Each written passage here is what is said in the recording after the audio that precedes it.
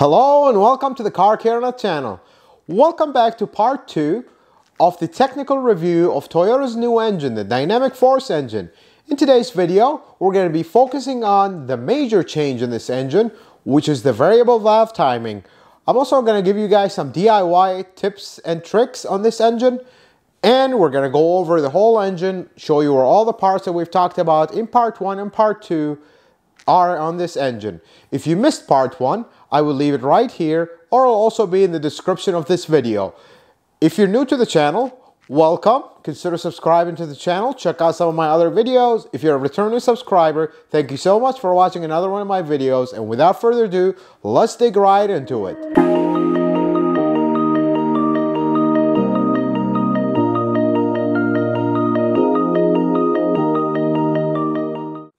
Let's talk about variable valve timing and this is likely one of the most just crazy advancements in this engine. So variable valve timing, it just changes the valve timing in the olden, not olden days that this engine makes a few years ago look like the olden days. It used to use oil pressure and you remember some Toyota models have issues with rattle and cold startup because there's a little gear where on the end of the camshaft and that gear has a mesh inside of it that can change the timing. And things are beautiful. If you advance the timing you get more power. If you retard the timing things calm down and go back and you get you want both because we're not going to get too much into it because then we'll me and you will be lost in a giant engineering fiasco. But let's keep keeping this simple like this series. On the exhaust side of this engine, things are very conventional. It uses oil pressure to change the timing. It changes it up to 41 degrees, which that just seems like a number I'm throwing there, but it can advance and retard the time based on the need and to give you more power, better fuel economy, depends on how you're driving. Now the intake side is when things go crazy is, is the word for it because it can change the timing 70 degrees. That is, ladies and gentlemen, is a lot. That is just all new and that is something crazy. So how it achieves that? It doesn't use oil pressure at all. Uh, oil has nothing to do with the intake side. It uses a German looking, overcomplicated Made by Toyota, so it's probably super reliable. Motor, electrical motor. So the intake gear has a little mechanism or a little, uh, best way to describe is a little transmission if you would. And that motor is connected to it. That motor, and this is gonna sound scary, that motor is always spinning the speed of the camshaft. So Let's say you want base timing. You want no advance, no retard. It's gonna run at the speed of the camshaft. So now the gear is spinning the same speed as the camshaft. When it wants to advance the timing, it's gonna send a signal to that motor to speed up. It's gonna start increasing its speed faster than the camshaft. And now you have advanced timing. And when it wants to retard the timing, it's gonna slow down a little bit slower than the camshaft is going to turn that gear back and now it has retarded timing which is insane. I mean, just think of this. There is an electric motor running the speed of the camshaft at all times. All the time that this engine is running, the camshaft, the, the, uh, that little electric motor is such a little electrical motor. It's not a huge guy. It's running the speed of the camshaft. That is just that is a very brave design because can you imagine how much development went into this motor to make it as reliable as the badge in front of this car? My hat goes to the people that designed this system and not only designed it and just, oh, here's my design, it's great, it's gonna break after a month and life is good. No, they made it and they put it in a production car that has the Toyota logo on it. That means this thing had to pass all their stringent reliability tests and it passed. Ladies and gentlemen, this is marvels of engineering at, at its finest right here. This system gives the computer almost infinite control over what it can do. And that's how this engine can achieve the power level that it does and gets the gas mileage that it does, thanks to this system. Now, people will ask, well, wait a second. Even though it's a Toyota, when this thing has 300,000 miles, I mean, it's a motor, it has a life, it's gonna go out. Is everything just gonna blow up? No. They're very smart with that too. They figured, you know what? There's gonna be a point, 200, 300,000 miles, whatever the case may be, and that motor will fail. When it fails, it's gonna stop. And what's gonna happen is the timing, remember when it slows down that motor slower than the camshaft, is gonna retard the timing. But when the motor stops, it's essentially slower. So it's gonna retard the timing, retard the timing until it reaches a mechanical stop. And now it's fully retarded.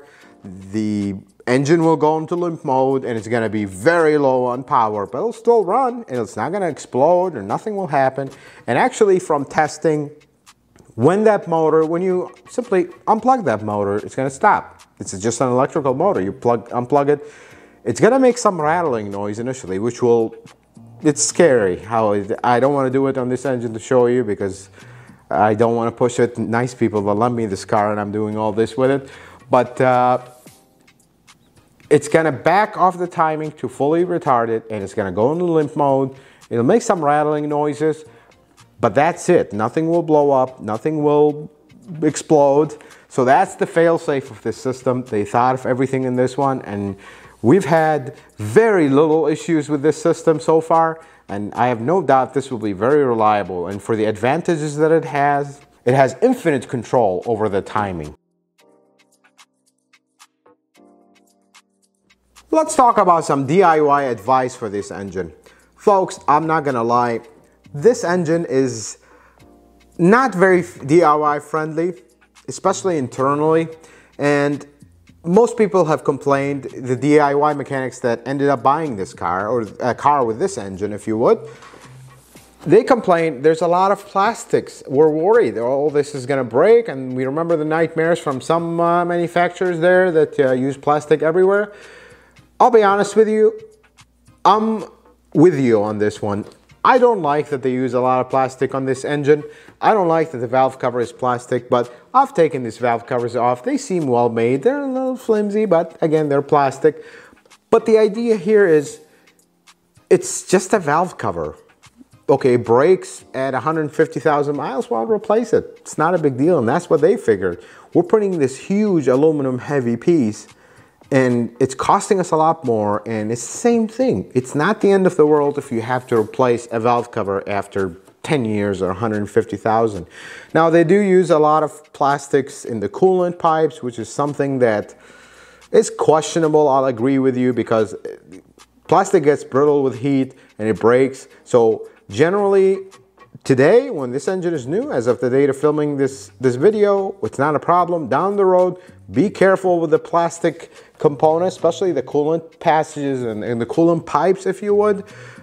Other DIY advice, please use 0W16. I've already explained, but I must say it again.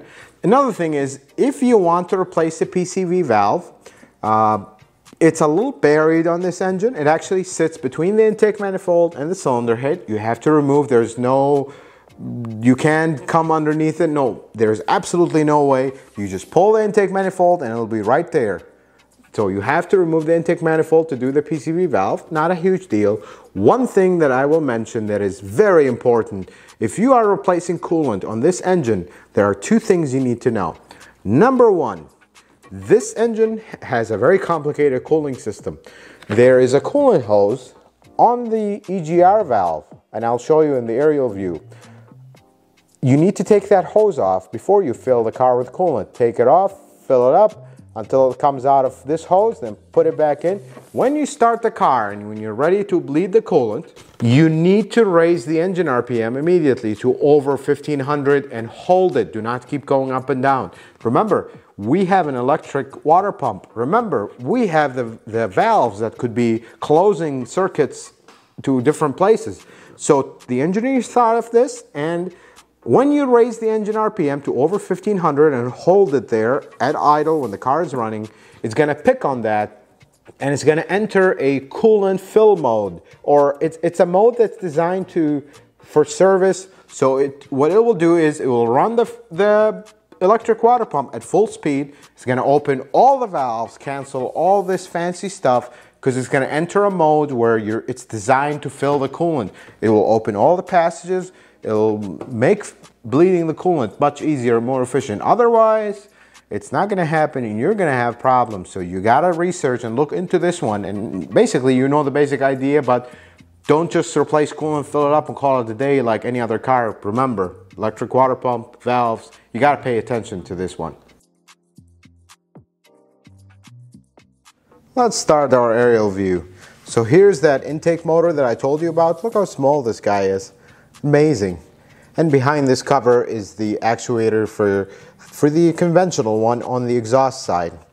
And here's the water pump, the electric water pump. I'll use my little light right, right here. See how the belt doesn't go to it? Going back, here's the intake manifold.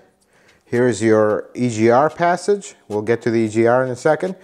Here are your four port injectors, not the direct injectors. And underneath the intakes, actually the direct injectors, I can't really get access to them without removing the intake, but you get the idea. They're down there, they spray directly into the, into the engine. Going up, you see right here, this is a fuel line. See, it's going to the port injectors. Then we're gonna follow this fuel line. It's gonna come right here and it's gonna split. Do you see the split? This side goes to the, comes from the fuel pump and the tank.